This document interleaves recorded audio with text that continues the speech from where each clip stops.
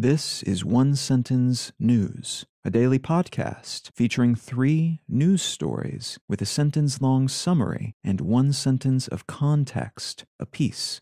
I'm Colin Wright. It's Tuesday, November 16th, 2021. Let's talk about the news. From Ars Technica, Russia may have just shot down its own satellite, creating a huge debris cloud.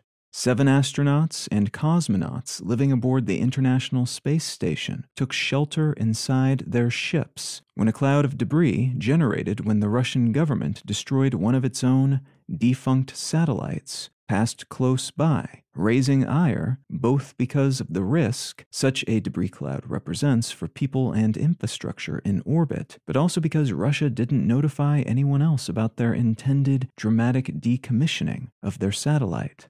There are still quite a few unknowns here, but what seems to have happened is Russia used an anti satellite missile to take out a Soviet satellite that was launched in 1982. That satellite and the missile exploded into more than 1,500 pieces of trackable debris and hundreds of thousands of pieces small enough not to be trackable and that massive cloud of bits and pieces shooting through frictionless space at high, sometimes bullet like speeds passed within spitting distance of the ISS. Though such debris clouds tend to stick around for a long time, potentially imperiling future orbital activity for years or decades, which is another reason why this move is confounding pretty much everyone. That confusion helped not at all by Russia's, thus far at least, lack of official explanation.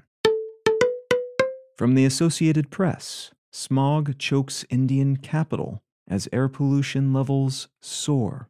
India's capital city, New Delhi, is suffering under quote unquote very poor air quality conditions, which are obscuring the sky under dense gray smog, lowering ground level visibility, and causing breathing difficulties for residents. New Delhi isn't the only Indian city experiencing significant haze right now, and it sees similar conditions every year, caused in large part by the burning of crop residues in neighboring states, that smoke billowing over to the city and becoming trapped by weather conditions. City officials have announced schools will be closed this week, construction sites will be closed until Thursday, and government workers will work from home till next week in order to reduce the number of vehicles on the road. And a little more Russian news from Deutsche Welle. NATO alarmed by Russian troop buildup on Ukrainian border.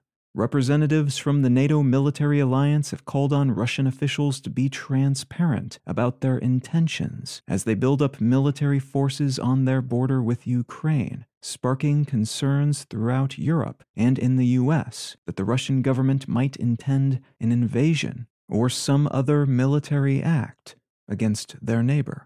Russia's 2014 takeover of a former Soviet territory, the Crimean Peninsula, which was part of Ukraine, and angling to build tighter connections with Western Europe, seems to be informing NATO's and the US's response to this troop buildup, which Russian President Putin has brushed off as their business and not anyone else's, and the Ukrainians, who are still engaged in armed conflict, with Russian backed separatists in parts of their country are perhaps understandably disconcerted by the unexplained presence of something like 100,000 Russian soldiers and accompanying military hardware setting up just over the border.